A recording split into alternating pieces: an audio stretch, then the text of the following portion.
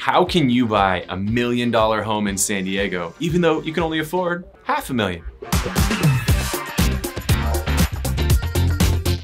Hey, it's Kyle with the Whissel Realty Group here at eXp Realty in San Diego. And today I wanna share a little fun fact called house hacking. This is actually how I got personally into the real estate game and I wanna share a little bit about house hacking with you. So maybe you've heard of house hacking, maybe you haven't, but here's the basic premise of it, is it allows you to buy more home than you can traditionally afford.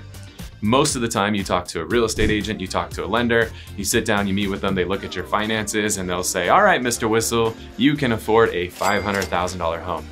And you're like, sweet, I can afford 500. Then you start looking at what's available for 500,000. You're like, well, I don't really like any of this stuff for 500,000. Like this sucks. I guess I'll just rent for the rest of my life.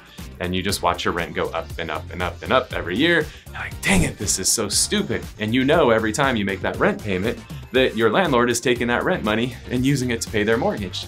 And you keep thinking to yourself, well, dang it, what if I could be the landlord? Well, this is where house hacking comes into play the way that this works and the way I bought my first property, I bought a three unit property, um, which is typically known as a triplex. And just for clarity, if it's a one building with three units, it would be called a triplex. And if it's one property with three detached units, we would often call that a three on one. Um, either way, a three unit property um, so it's one single property with three units on it. If they're attached, it's a triplex. If they're detached, it's called a three on one. So I bought this triplex property. Um, this one was kind of unique. I had six bedrooms on the downstairs, so six bedrooms, five bathrooms on the downstairs portion, and upstairs, I had two one bedroom, one bath units. So three completely separate units, their own kitchens and, and all of that stuff. And so what was really cool is I lived in one of the bedrooms of this six bedroom house, rented out the other five bedrooms.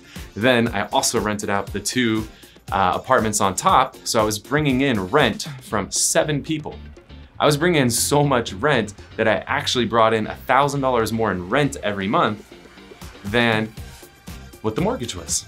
How cool is that? So now I got to buy this property for half a million dollars and make $1,000 a month. That's pretty freaking cool, right? Well, that's how I got started. I want you to do the same thing. Now that was years ago, prices are a little bit higher today. So that same half a million dollar property today is now worth about a million dollars. How cool is that?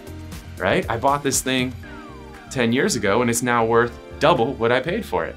So that house that I was making $1,000 a month on, now actually making more than $1,000 a month on it, is now also worth half a million dollars more than I paid for it. That is what house hacking is all about. So here's how this works. You meet with your lender. Your lender says, hey, Mr. Whissel, you can afford a half a million dollar house. You don't find anything you like.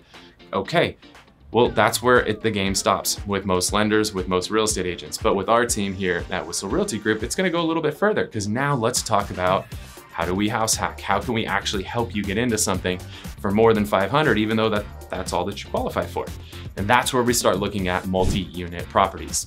The beautiful thing here in San Diego County is that there are multi-unit properties everywhere. So whether you're down in South Bay, North County, East County, Central San Diego, there are multi-unit properties all over the place. And here's what's really cool. I recently saw a deal that was a million dollar property.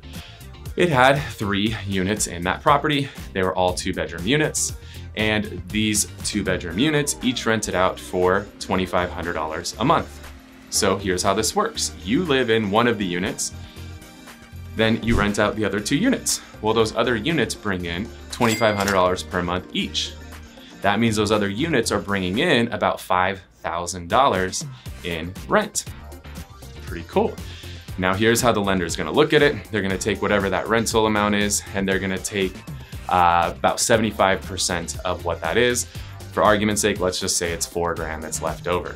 So now they're gonna give you $4,000 a month in income to help you qualify for a larger property.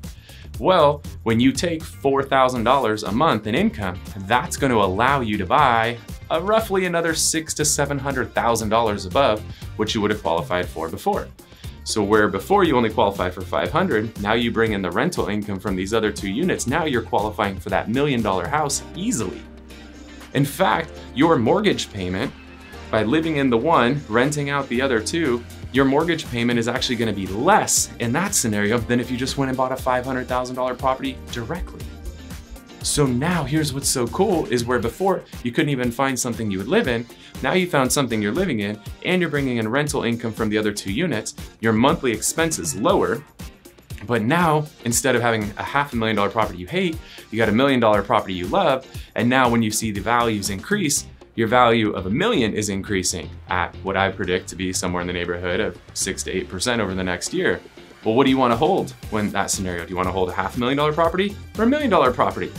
Right? We all want to own the million dollar property. And here's what's cool. You could do this with three and a half percent down. Or if you're in the military, you could do this with zero dollars down. How cool is that? That you could go from no money down and qualifying for half a million to buying a million plus dollar property with no money out of pocket. That is what house hacking is all about.